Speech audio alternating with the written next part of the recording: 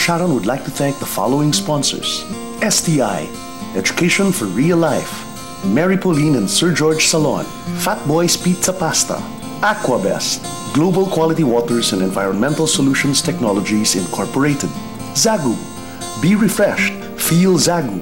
Do you want flawless white skin? Try KB Glutathione sa KB Glowing Ka. Oracle Jewelry. You may visit their store at second floor main building, SM City North.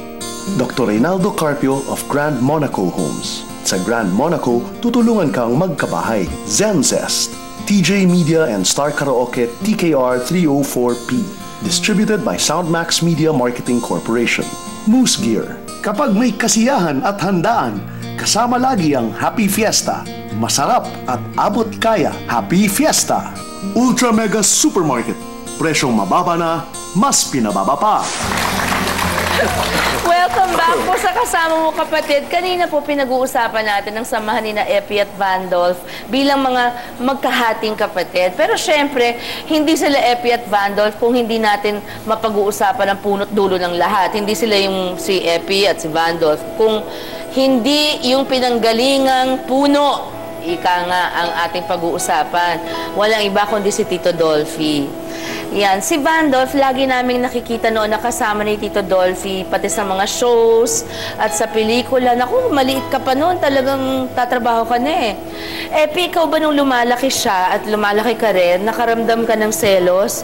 Dahil laging, laging ano eh, ang paborito ni Tito Dolphy lumalabas si Vandolph. Yeah. Siyempre, di ba? Actually, kasi for a while, for a time, di ba, ako yung, first sa bahay namin, ako yung bunso. Bunso kasi Ako yung also. bunso. oo. Diba? Tapos, um, dinadala siya palagi sa bahay. Siyempre, yung attention, kumbaga hindi na, hindi na dun sa bunso. Okay lang kasi ang daddy Ikaw ba yung huling bunso before him? Hindi, si Edwin eh. Pero, Si Edwin, pero- kasi I never really Got to know. uh, got to know him at, at uh, yung mga times na yun. So, si Vandolph nakikita ko. So, in a way, meron talaga ako selos. No, pa- paano, paano mo pinapakita? Sinasabi mo kay daddy? Hindi. Ano lang yun? Sa, ano lang yun? Per, per, sa personal. Sa'yo lang. Hindi mo naman kinukurot pag naka... Hindi, hindi. Alaga kami. Bina- Pinukutusan ko. dahil- Ang lalaki nga pala nangungutos. Ba't mo nang kurot? Kutusan mo. Ayun. Okay. Vandolph at Epi, ano yung mga naging accomplishments ni Daddy Dolphy ninyo na sana feeling nyo pangarap nyong maabot din? Actually, kung accompli- sa akin personally, kung accomplishments lang sa sobrang dami, ayoko nang pangarapin abutin. I just want to dream of my own accomplishments. Oh, that's nice. Yeah, that's Kasi, kumbaga, if, if, you're, if, I, if you're gonna ask me if I, if I want to fill in the shoes, They're very big shoes to fill, yes. Parang baby na sum sumuot ng sapatos sa... Hindi, pero prinsipe kahari siya eh. Di ba? Ano eh, pero 67 years, from vaudeville to black and white to naging film, Colored. naging colored, naging Digital. Ito na, digital HD na nga ngayon eh. HD, Iba na ang mga oo. camera, ganyan na nakalilit ang camera ngayon. Andiyan pa rin siya. 67 years. Yan, ikaw, Vando. Well, ako ganun din as kay Kuya Pe. Ever since nagka-family ako, siyempre nag-iba rin yung pananaw ko sa utak ko na hindi lang puro once ko lang, not for, na, hindi lang ako. For, lalo na para sa mga anak ko dapat, di ba? For my kids, yung...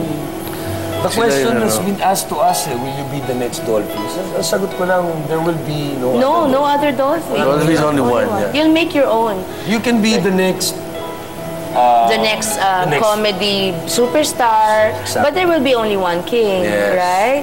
Ganun lang. And that's, he deserves it. Or That's you can his- be the next king. Yeah, But- in but another you will way, not- for uh, of this generation. But Of this yeah, generation. Never but no, erase ilang henerasyon, tatay nyo lang yun eh, talaga. But Vandolph, sabi nga ng kuya mo, ikaw yung nakakuha ng timing ng papa mo. So siguro, siguro you can make movies in the tradition of your father na funny, kasi nakuha mo yung timing niya, pero for our generation naman, that would Yeah. be nice too. Yeah, yeah. You're a Quezon after all. Yeah. At sabi nga, kuya mo mismo nagsabi, ikaw nakakuha nun. So, wag mong... talaga yung, ano, yung timing. Huwag mong, huwag mo namang ipagkait sa amin. Hindi, ano po, um, sa Viva na kasi ako. Ay, ano, talaga? Viva na ako. Nakita kita sa Benjamin, sa Private Benjamin. Ibang character mo doon. Sintu-sintu yata. Sinto-sinto. Ganun ba siya in real life? Ah, hindi. Freaky. Konti lang. Konti. may ano May pitik, may pitik. Sa dinami-dami ng parangal at pagkilala kay Tito Dolphy, ano ang sariling parangal ninyo para sa kanya? Because I am sure that to the Comedy King, anumang parangal ay hindi hindi mas lalagpas eh sa pagtingin sa kanya ng kanyang sariling mga anak. Vandal. Well, ako, he's the best dad na pwedeng makuha ng isang tao sa akin. Ha? Kasi pagkasama ko tatay ko, lagi akong masaya. Lagi akong busog. la, la, alam niyo, laging Priorities niya. wa- walang, walang moment na baksak. Pag, lalo pag nakikita ko siyang umiiyak, may namatay siyang friend or something. Pag nagdadrama nga ho kami, pag sa movies dati, ang, pa, ang paraan lang para umiyak din ako, pag umiyak siya. So when he cries, tuloy-tuloy na ako. Hindi mo matake. Hindi ko umiiyak. na makita ng umiiyak ang tatay ko. He's the best dad. Kung, kung ako mabubuhay ulit, gusto ko si Dolphy pa ng tatay ko. That's the best compliment na makukuha ng tatay. What about you, FT? Ako, putting all the awards, the achievement awards, the National Artist Award, whether they give it or not, They should, though. whether the gintong pilak pa yung binigay ni... Golden Heart. Uh, the Golden Heart na si Helen Keller lang tsaka siyang meron. The- the- all these awards. Wow, really? Yeah, he was we have to by, announce uh, this. The president, uh, our president, Pinoy, he was given uh, Ho- yeah, hold on a second. If only Helen Keller and the great Dolphy received this particular Particular award, the world has to know. Well, I I don't know if they, they didn't. Noon, kailangan uh, pagkalat natin to. Nako, please, i-tweet natin, pagkalat natin, sariling atin si Dolphy pa. I don't um, exactly know kung ano yung tawag sa award niya, but the, only the... Golden Heart. The golden... Something, the, in Tagalog kasi golden... Ah, gintong... Gintong puso. Something, something oo. award. So, it was only given to Helen Keller. And the only Filipino to get the award Was her dad. is is that my, my dad. And uh, besides all these awards, um, hindi lang siyang aking national artist, hindi lang siyang aking international artist, but for me, he's the my one and only artist in the world. The one and only teacher, the one and only dad. Ako, ang makikidadi rin ako. I have to say this. I think on behalf of all our um, viewers, our televiewers, our audience here, um, hindi kumpleto ang Philippine show business pag walang isang Dolphy. Salamat. Actually, yun lang yun. I mean, for for the family, for my brothers, for my sisters, I speak for for every one of us. He has actually taught us not just um, um, not just about our craft, yung pagiging artista, pero he taught us about life. Also. Yun yung pinaka-importante yung tinuro niya sa amin. Yung, yung paa sa lupa, pako mo sa lupa, masarap lumipad, pero pako mo yung paa mo sa lupa. Sobrang humble ang father. He, he has he has taught us humility, tas he has taught us how to yung pakikisama ba sa tao. pero- respeto. Yung word the word respect I've learned by through by heart through my dad. And by example. And by- hindi by ibig, ah, at hindi namimili ng tao. Ano, meron lang ako last question lang. Meron ba siyang pagkakamali na sinabi niya sa inyong wag niyong gagawin sana? Obvious ba? Nasagot ka?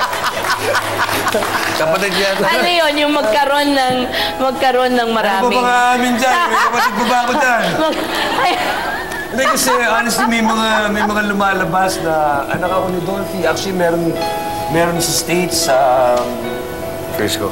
sa San Francisco. Anak ako ni, ni Dolphy, ganyan. Pinunta namin, kamukha ng dati ko. Di ba, kamukha ng dati ko, pero... Hindi. Kamukha ng kapatid ni, ano? There's DNA lang ang yun. sinasabi namin, let's, let's do a DNA. Ayaw naman niya. So, oh, mahirap. sa amin kasi, ang uh, trato namin sa lahat ng tao, kapatid namin. Mahirap na eh. di ba? Hindi, nasanay lang. Si, si Marina, di ba? Bunso namin yun, si Marina. Si Maribar Bacuy. Si Marina. Di ba? Bunso kapatid Si, namin yun. si Marie Barbecue na puro tinapay yung baon. I miss you, Marie. Alam niyo talaga si Marie Bilman yan, Dolphin yan. Hindi ko alam. International siya eh. Hindi, pero masarap ang pakiramdam na may kapatid, mga kapatid. Kaya masaya kami dito sa Kapatid Network. Buo man po o hating kapatid. Nakakataba po ng puso na malamang may taong handang ipaglaban, tanggapin, at mahalin po tayo ng walang kondisyon. Maging huwaran sana ang samahan ng ating mga nakakwentuhan ngayong araw. Si Patricia at si Raika, si Ray at Roy, si Epi at si Vandolph. Siyempre, thank you so, so much. Salamat sa ehemplo ng maayos at nagmamahalang pagsasama. Tawagin man kayong hating kapatid, Minsan talaga, I said kanina, mas malapit pa yung magka-half-siblings eh minsan kesa sa tunay. Minsan that happens. Mas nagkakaintindi. Mas nagkakaintindihan at nagkakaunawaan. Hanggang sa susunod po, ako po si Sharon ninyo. Lagi niyong kasama, kapatid. Thank you, Abby. Thank you, Lando. Kahit sa kwarto niya.